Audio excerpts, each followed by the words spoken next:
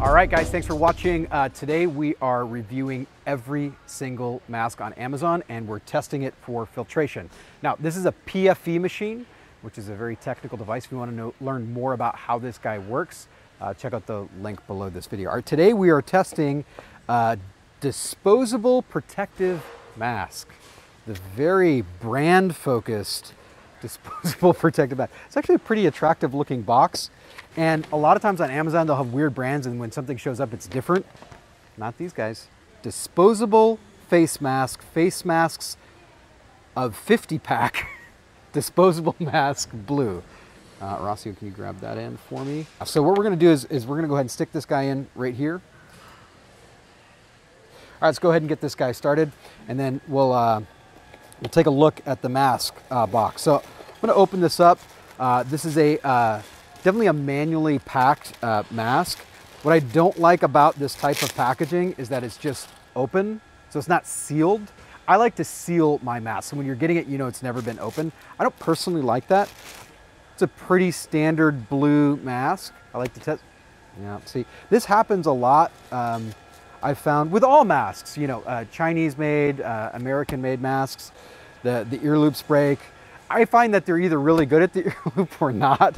I mean, uh, we actually have an ear loop guarantee because look, it, it happens to some of the masks. I mean, this is really terrible. I was trying to give him the benefit of the doubt like it might hold up. I'm gonna put this guy on. It does have a tiny little bit of a, of a, chemical smell to it, which again, a lot of these things, if you watch any of these videos, I'm gonna say this, I'm gonna be a broken record here. Um, these are put on boats for the most part, and then it depends, you know, maybe it's next to a smokestack or something like that.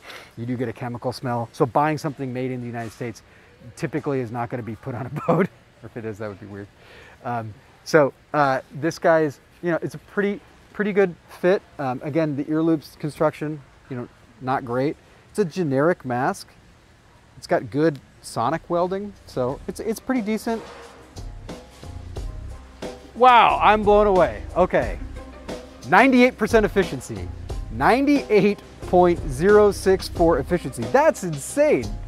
I mean, for a mask that costs $9.99, just, just to get a 98% efficiency, like this is the same thing that our mask has at. That's amazing.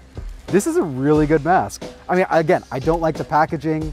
I don't like that it's a little bit unsanitary.